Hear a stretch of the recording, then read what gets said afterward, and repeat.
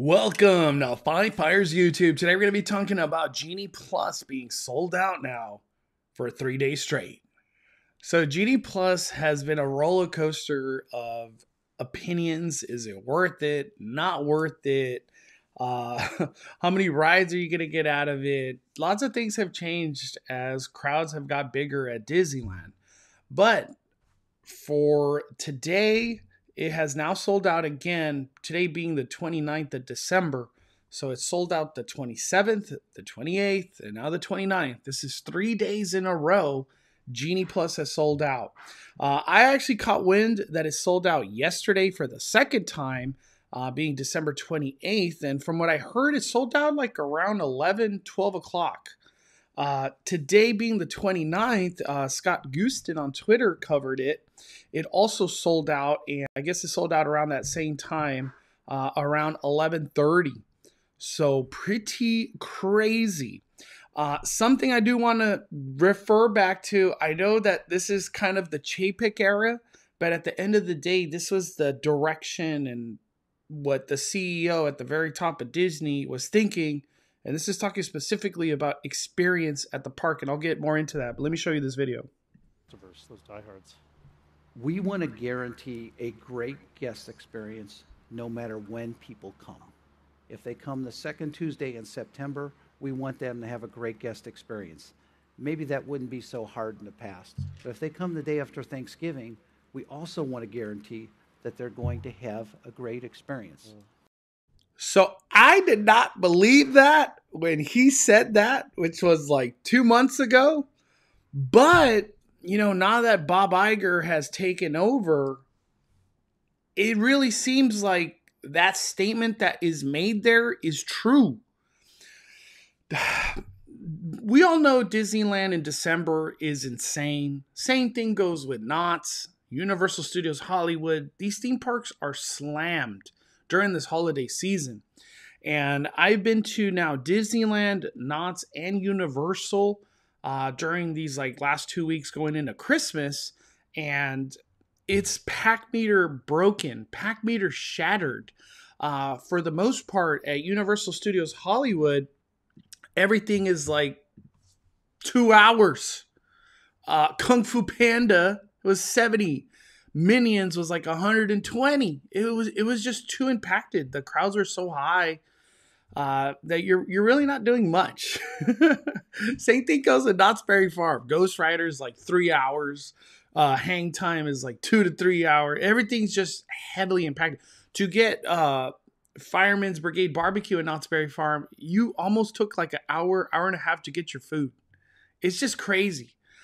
And at the end of the day, Disney Disneyland now shutting off the sales of Genie Plus, so lightning lanes. Uh, that's a very good thing. I think it's a very beneficial thing. To me, that truly says, hey, I care about the experience you're having at the park when you're trying to upgrade your experience by paying more money and getting Disney Genie Plus. We care about your experience using Genie Plus.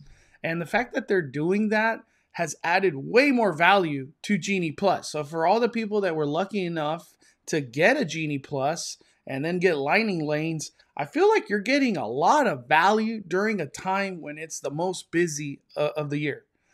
And Disneyland, uh, as much as the other parks have been impacted by these humongous crowds during Christmas, Disneyland, I feel like, has managed it the best with the whole concept of blocking out the magic keys and then having these higher tier prices of tier six, tier seven, uh, where you're paying like 180 or 230 or 240 for park hopper.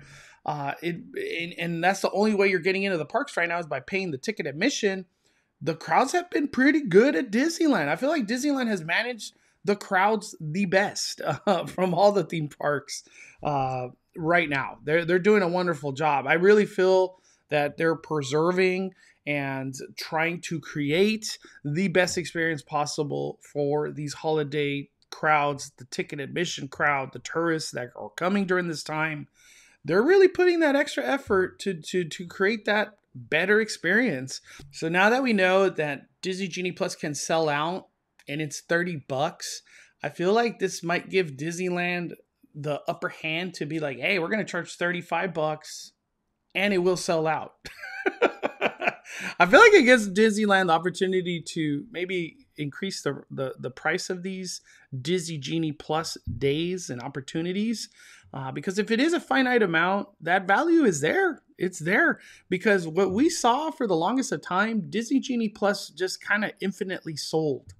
And uh, for all you know, you were waiting 20 to 30 minutes to do Monsters Inc. through a lightning lane, you know, and stuff like that. So the fact that it's uh, a finite amount now, it's a great, and it is probably due to high guest demand. But I feel like we've had high guest demand in general. Period. I think it's the change of leadership. Uh, obviously, Bob Iger now being more involved and Ken Potrock and Josh D'Amaro. This change was definitely uh, talked about through all of them.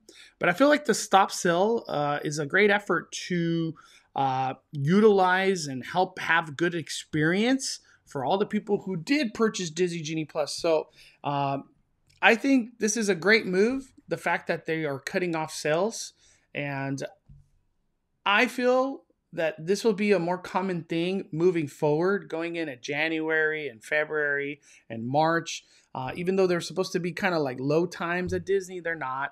We're gonna have the Hunter Celebration kickoff, Mickey and Minnie's, uh, Magic Happens, the parade coming through, and then Toontown reopening. It, it's it's to be a wild beginning of the year in in uh, 2023 for Disneyland. So very exciting. Do you think this is a good move? I think it is. I think it's a great move that Disney Genie Plus now has a limit. Uh, and it, it, it just adds value. That's how I look at it. Uh, I would be, or I'm curious to hear what your opinion is, and uh, post in the comments. Let's have a discussion.